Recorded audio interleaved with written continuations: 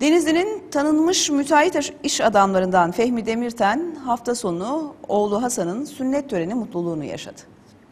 İki, alo.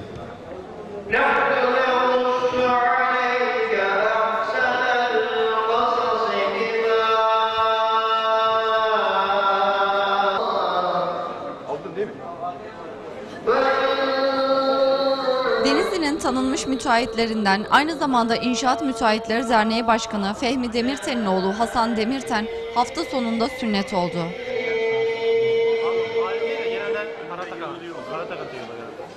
Kültür sitesinde gerçekleştirilen sünnet törenine çok sayıda davetli katıldı.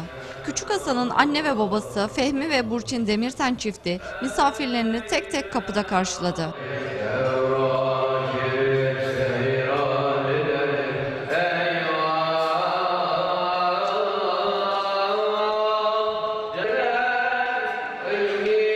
Hasan'ın sünnet töreni renkli görüntülere sahne oldu.